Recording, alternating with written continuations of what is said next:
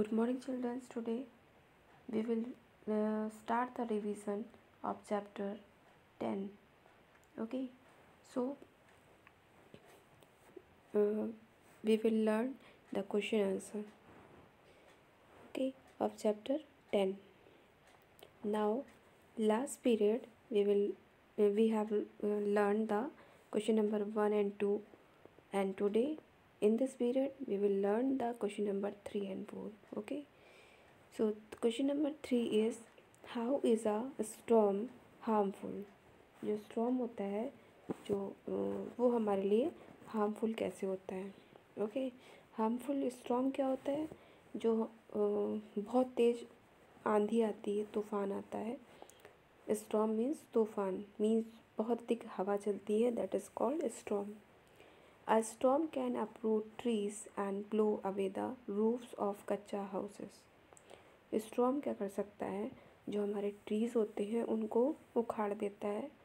जब स्टॉर्म आता है तो हमारे ट्रीज बहुत से ट्रीज़ उखड़ जाते हैं। बहुत लोगों की कच्चे घरों की छतें चली जाती हैं, उड़ जाती हैं। ओके तो इस तरह से जो स्टॉर्म होता है, वो हमारे लिए बहुत हार्मफुल होता है। Okay so everybody learn it a storm can uproot trees and blow away the roofs of kacha houses okay a storm can uproot trees and blow away the roofs of kacha houses okay learn it question number 4 is write two uses of air आपको air के दो use बताने हैं okay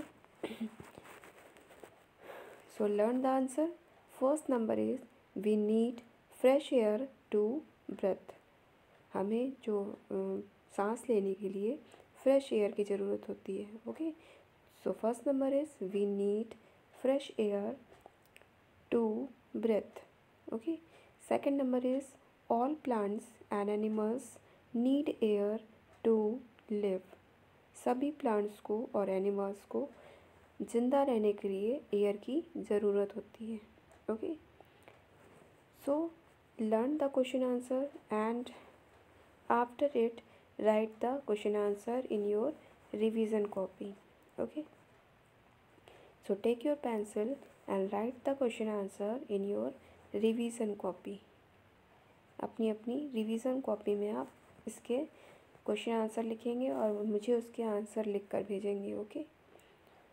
जैसे आप class में test करते हैं। टेस्ट कैसे करते हैं? रिवीजन कॉपी में करते हैं ना?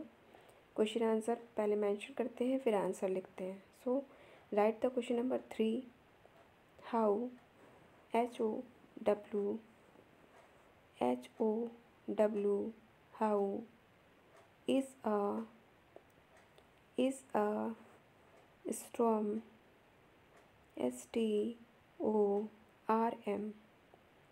S T O R M. Storm harmful. H A R M. F U L. H A R M. F U L. How is storm harmful? Leave the line for the answer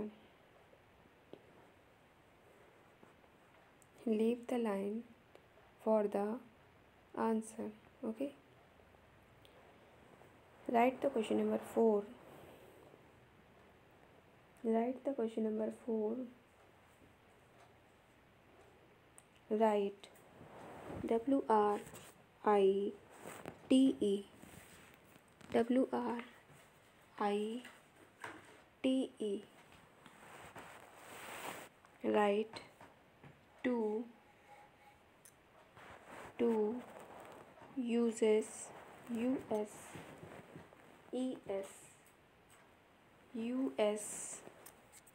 US uses. Write 2 uses. Of of air air A I R air question mark. Leave the line for the answer okay? So first of all learn the question answer and write the answer in your revision copy and send to me in your group